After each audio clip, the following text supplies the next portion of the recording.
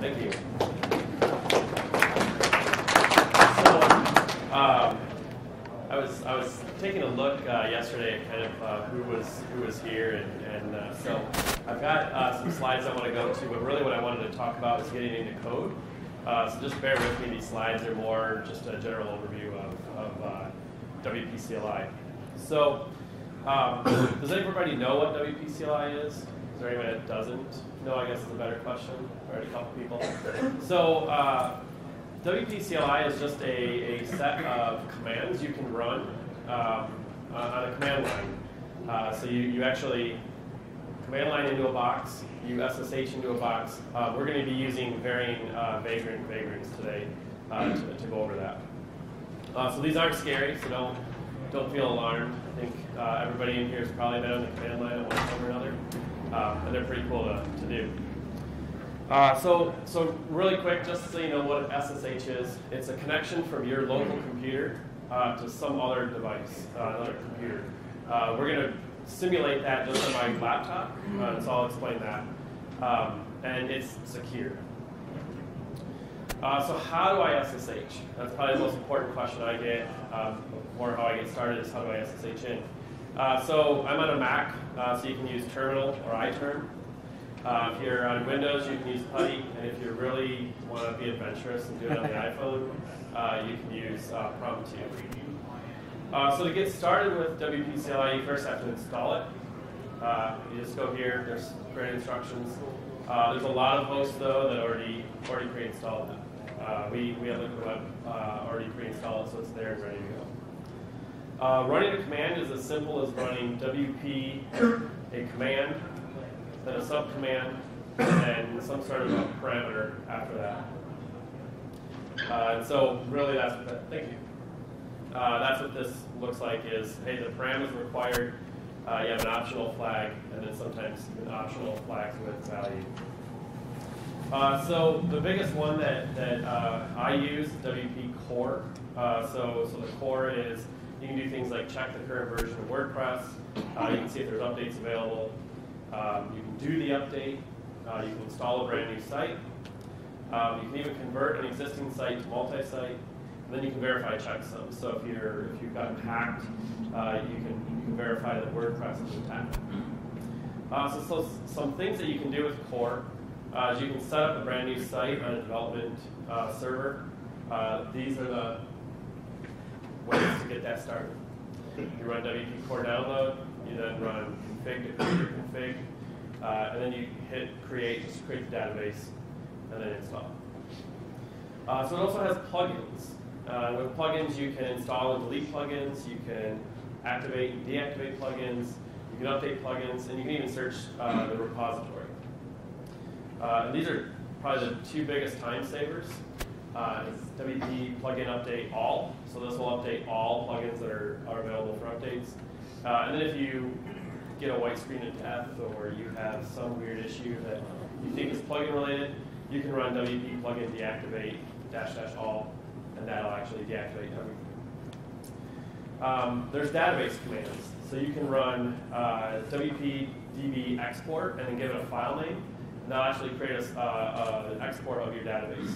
You can also import that database. So if you're moving, migrating from, from server to server, you can do that. And if you want to get into actual uh, the nitty gritty of MySQL, WP DB CLI will get you in there. All right, so enough of that. Let's go into uh, the command line.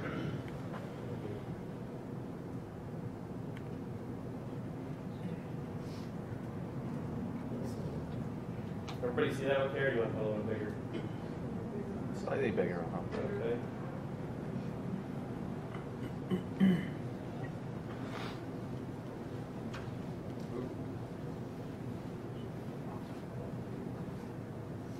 All right, how's that? Pretty good. All right, so I've got Vagrant um, installed, and for Vagrant, when you're on a local computer, to get into it, it's just Vagrant SSH, and this will log you in. Uh, typically, you would have, you know, SSH, your username, an IP address or a domain, and then you'll have to put in your password. Uh, so once I'm in here, I can actually go into uh, our, our WordPress directory. So I'll do.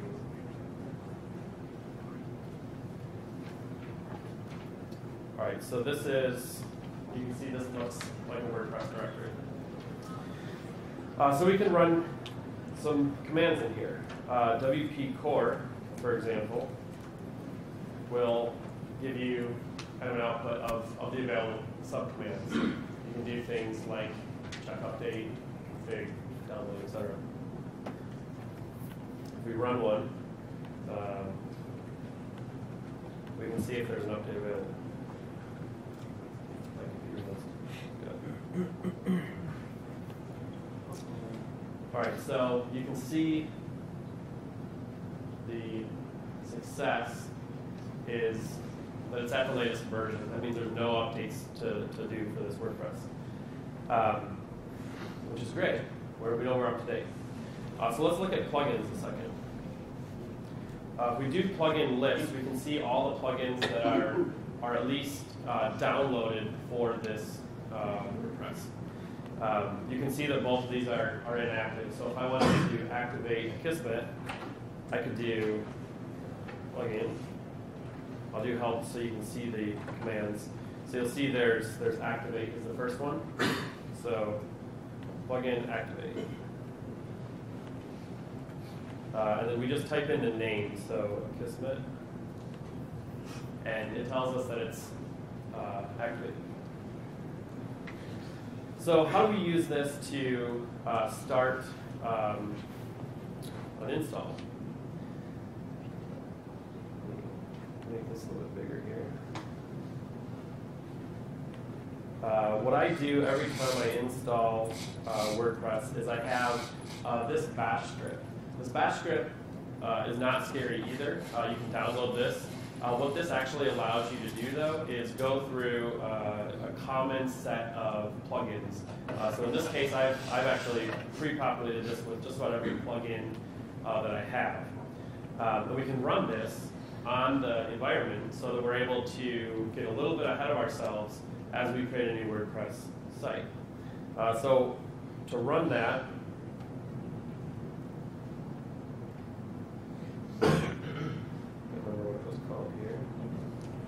So it's going to ask me for a bunch of information. Uh, in this case, it's at, asking me to install if I want to install this plugin. So as I have a client that's working with this this uh, site, I know uh, if I want Adminimize, I can say yes, and it's going to go through and install it. And the PHP notice is because I'm using um, it's, it's a Vagrant thing that usually doesn't come up. Uh, so what did it do here? Uh, it installed, uh, first off, the, the latest version.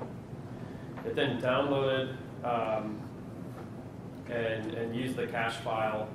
Uh, so I've already used this once uh, on this box. So the nice thing about WP CLI is it's going to say, hey, if I've already got this locally, let's not go back out to the internet to re-download it. Let's just use that cache version. So it did that. Uh, it then unpackaged, uh, uh, unpacked the package. It installed the plugin, and then I, if you go back here, I actually said just activate it because I don't want to have to, to download it and then activate it, right? So I did that. Now it's asking me to, if I want to install members. Uh, so I can say yes again, and it'll install.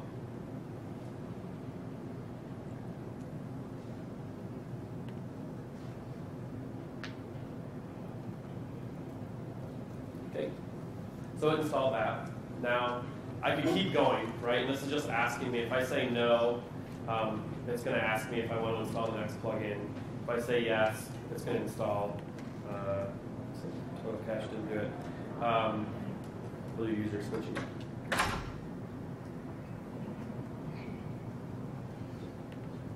So it's it's going to go through, and I can keep going through all of my list of plugins uh, I, I want to use on every install.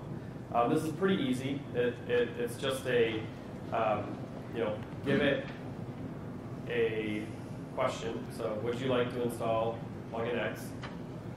Um, read the output of that file, and then uh, run this WP CLI command.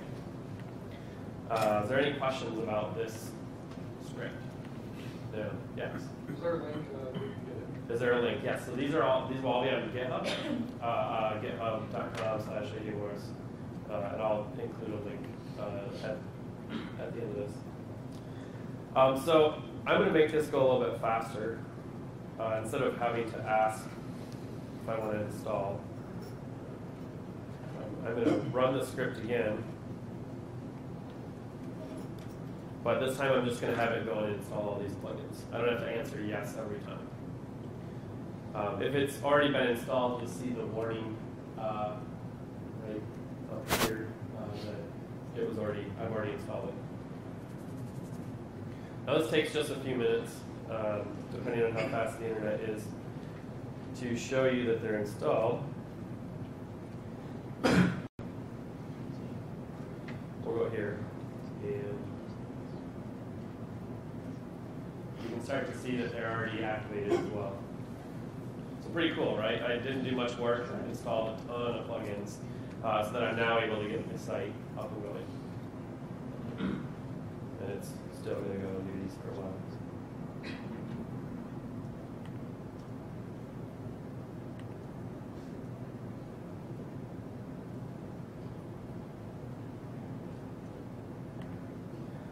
So is there questions about installing plugins and activating them?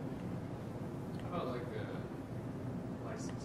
License key. So uh, certain plugins have uh, can actually write into WPCLI. So the minute it's activated, um, you can run another command to, to do that.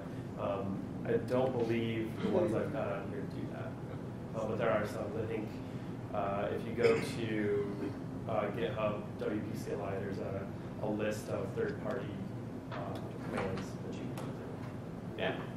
WP options. The WP options. WP options add or update. Okay. You can update the options table. That's usually where they store those activations.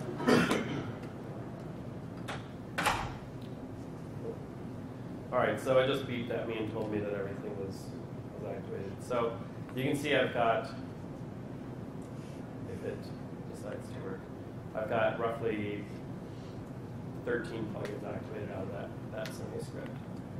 All right, so I'm going to come back to plugins uh, a second, but let's actually run a backup.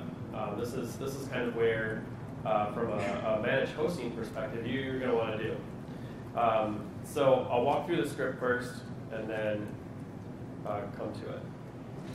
Uh, so this this is essentially all we need to do to do a backup. Uh, so you'll notice um, I, I always echo out some command because I'm usually paying attention to when these run, um, at least at first, and that also gives us an idea of what it's actually doing. Um, so this first date is actually just giving me today's date of, of uh, uh, through through Bash. Um, I then export it, uh, the database, to a SQL file.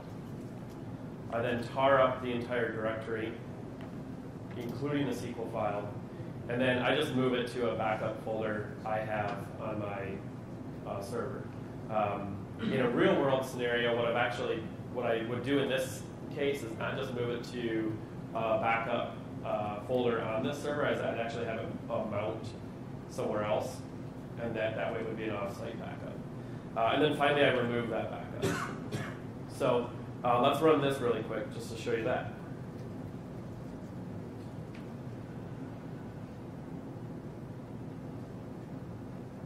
All right, so this is going to be quick, so I put in a little uh, sleep instance just so that know if you'd be able to uh, change your font color to yellow or something, or it's really hard to see.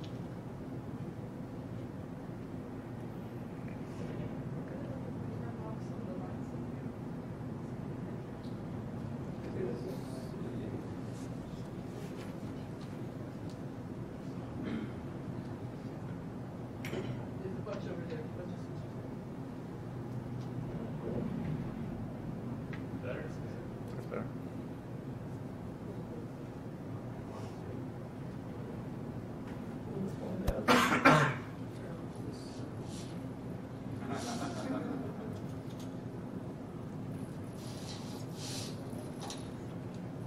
Hang on, they have a black screen. Is that any better?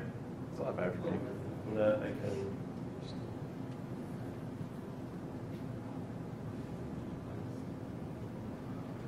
Yeah, that's what I was just gonna see if I could switch it to uh, profiles.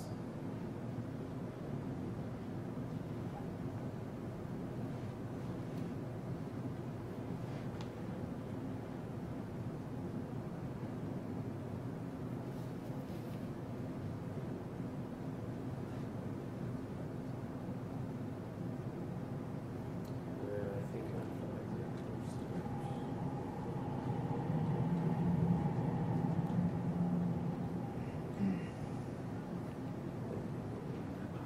I didn't change re foreground either.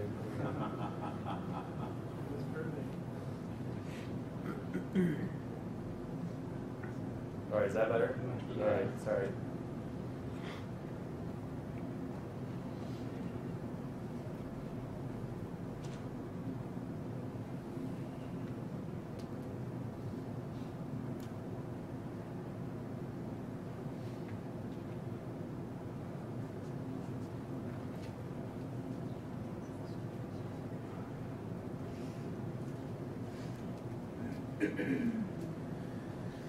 All right, so where did I leave off? Backups. Let's check uh, my backup folder really quick.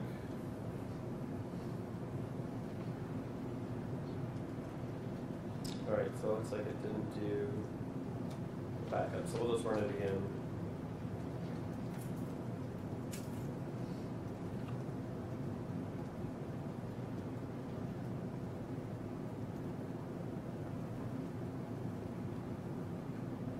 I actually think that now that I added this in here, it's gonna delete the backup before it actually let it save. Always great doing a demo. Uh, let's just check again. Yep, alright, so we'll stop removing the backup first. And then we'll run one more time. So, once the script is fixed, uh, what this actually allows us to do is we can set this as a cron job, and then every night it can run, or every X amount of time it can run, and you've got yourself backups. All right, so if we check this again.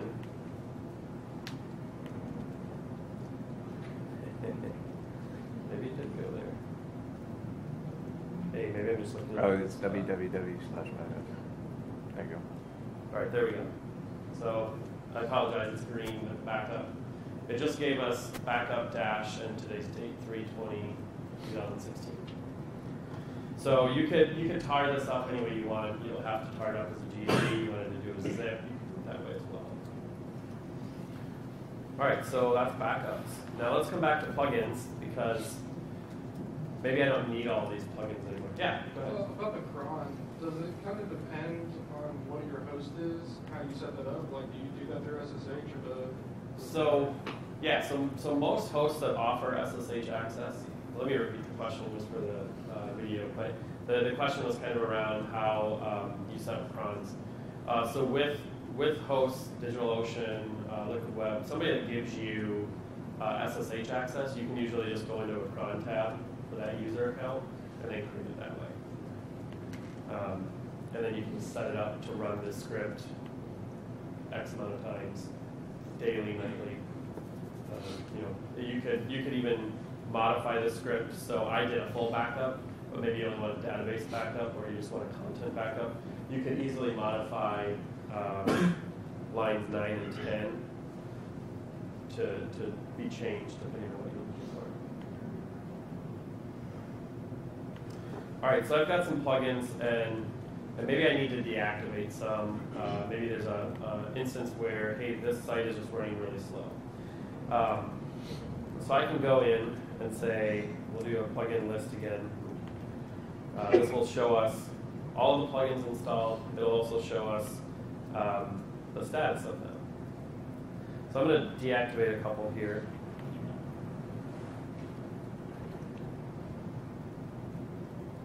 Uh, we'll just do Adminimize. Um, you can also kind of uh, chain these together. So if I wanted to do multiple in one command, um, I can I can do this. So I can do Jetpack uh, and Startbox. So if I deactivate these, it'll tell me, it spits it out, hey, these were successfully deactivated. If I run a plugin list again, we'll see the status is now inactive. All right. Uh, one thing I didn't install with this is a theme. So anybody got a theme uh, in the, we'll do WordPress directory that you like to use? Underscore. Under, is that in the direct? I don't think that's in the directory. We'll do 2016. Let me make sure it's not installed on this one. If not, I'll remove it. Actually, I'll do, I'll do 2013. So, here's what theme options are available. We can activate, delete, disable. Pretty similar to the way the plugins just work. Uh, and we can search. So, don't remember. We do search 20. I'll just search that way. We're going to get a list back from the WordPress.org uh, directory of all the plugins that have something related to 20 in them. Uh, so we can see here's 2016 through 2012. So we'll go ahead and install uh, 2012. Um, it's important that we have this slug because that's how it installs. So if I copy that and do theme install,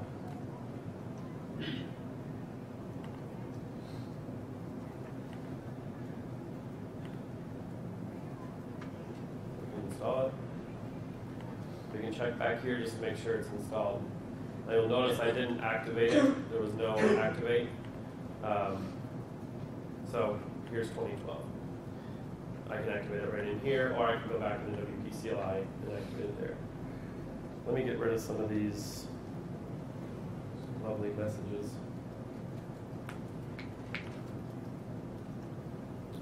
All right, so that's uh, themes. Um, I have to do one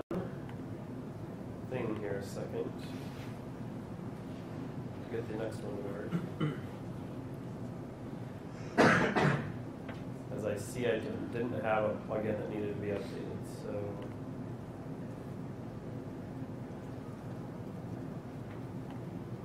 Give me a second.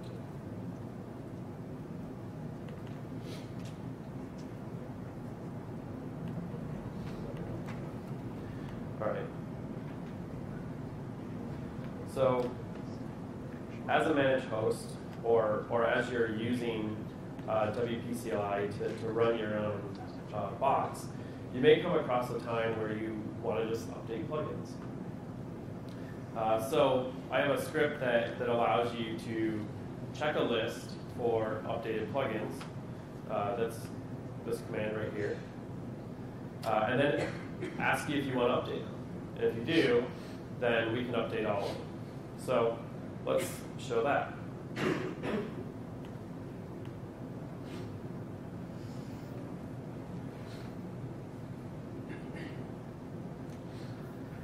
All right, so th- what this is doing is it's querying our local plugins and looking for uh, update available here.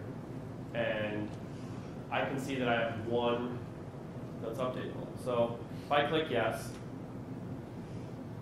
it's gonna go download, it's gonna turn on maintenance mode, gonna update. And then we can see that I put in a, a fictitious number, and it actually updated to three point one eight. Uh, so that's how you would update a plugin. Um, unfortunately, I can't show you how to do uh, core because I don't have uh, this box a, a WordPress that is not um, an old version anymore. Um, but essentially, it would just be right. This is how we checked to make sure there was an update. We would just change check update to update, and we would then be able to update WordPress. Before we do that, though, it's probably good to, to run that backup script just so we have a backup, right? So we can, instead of just using a cron job, we can actually manually back it up. Would, Yeah. would update not automatically go ahead and reinstall the files even if it's the latest version? Say you, uh, got hacked and there's some malicious code in there. Sure, let's Wouldn't try. it- Wouldn't it already just go ahead and? It might. We'll, we'll find out. It's a good question. I have not tried that. Uh, it tells us it's up to date. But that's probably the same success you would get. It, Anyway, it so doesn't actually prob- download probably- the files because it's checking the version of WordPress. Um, we could do, Because I know on the back end, there's a reinstall files. yeah, So I was, I just figured it, that would do the same thing. let me make sure I have the right. So if we were hacked, we could do verify checksums. And this would actually go back uh, and check the files on our, our install to the files that WordPress.org would deliver. And we can see this line that it, it verified, so we would know that we're not hacked. If I were to go in and change something, um,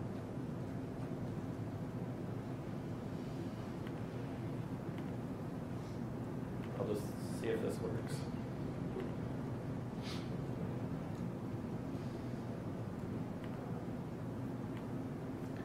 So it gave me a warning, hey, this WP mail that I edited real quick didn't verify it because I threw some extra text in there. Now, now can you do the update?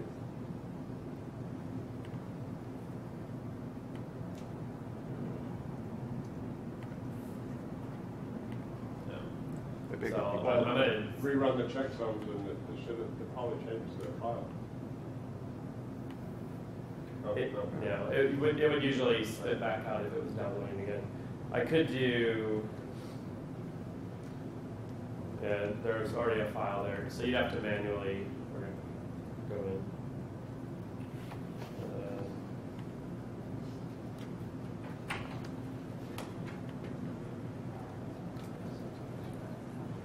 All right, so we made that file better again. We should be able to check it, and it'll, it'll run fine. Okay. So, uh, there's also, if I had uh, a core update, it's a very similar script, right? It's just gonna run, it's gonna first check if there's an update. If there is, then you can run the update. Uh, so I have another script in here that is install. So um, let's say you have a new client, you have a new customer, and you want to actually run uh, that install. Um, this this script it- it's rather long. Uh, it asks for some information, and then it goes and creates uh, the site and, and the folder of that. Um, so we'll walk through that as we go and install it.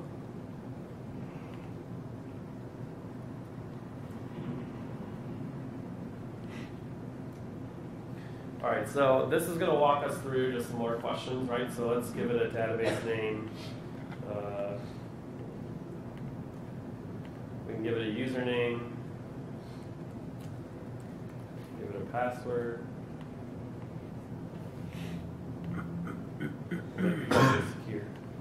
Uh, and then um, that actually goes in and creates the database. So our database is all set up and ready to go. Now we need to go download and install WordPress. So we give it a site name. Give it a username. Give it a password. Do email. And what it's done at this point is just captured that data so that when we run, uh, as we're ready to run this install, it's going to go in and, and make all, all the changes.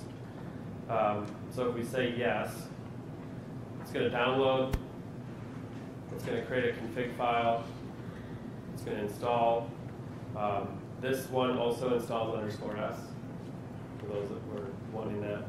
Um, I now need to give it a directory, which uh, this was actually, this part uh, is broken on Vagrant. It should have done this automatically. Um, but what this is, is for is it's going to go create uh, the Nginx config in Vagrant. Um, so don't, th- this barking at, at me is, is saying, hey, I can't do it in Vagrant. It can do it on a, a, a regular VPS. Uh, with that, I've barely done any work, and I've gotten my site up and running.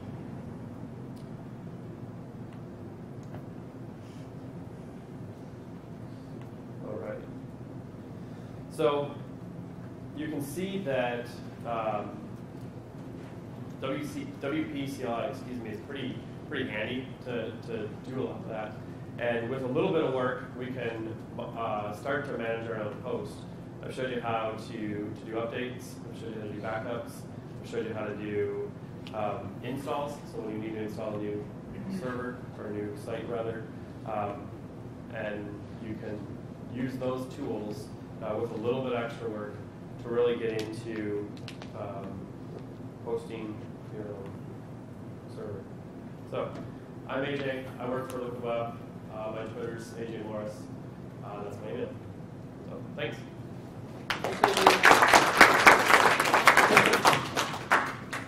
Did you say you were gonna tweet out the, Yeah, I'll twi- uh, put it out on Twitter with the, the GitHub repos for it. okay. Yeah. For setting this up on a box with like cPanel or WHM, how, how do you do that? Uh, so the the biggest piece is to um, with with cPanel and WHM, you'd want to somewhere put these scripts. So git clone clone them to a folder. Um, Can you have to install it a certain way so that it's like usable on every other cPanel account that you SSH to? Like you can put it in the user slash share folder? you could, and then you'd have to in WHM share that folder out to each individual Yeah. cPanel user Okay. Or run it as root. or run it as root. Okay, yeah. Yeah, part of mine actually requires me to run that as root, and that's why Vagrant yelled at me. Uh, So, Was there a question over here? No. Is there a way to uh, detect all WordPress installs throughout your server? Just do like, No, collect them all and then. Yeah, so the way that WPCLI would work is you have to be in the directory of a WordPress instance. So you, you wouldn't be able to, it wouldn't know until it's in there, it spit out. Um, If I go into this, this uh, folder, I'm just in my www root. If I try to run uh, a command, it's gonna come back um, and basically tell me, hey, there's WordPress not installed. But he, could run it easily, write a bash script. You could write a bash script, yeah, to to figure that out. Through it, and then it could call Each, WP CLI if they need. yeah, yeah. Good point. Is a question over here? No? Okay. Thank you.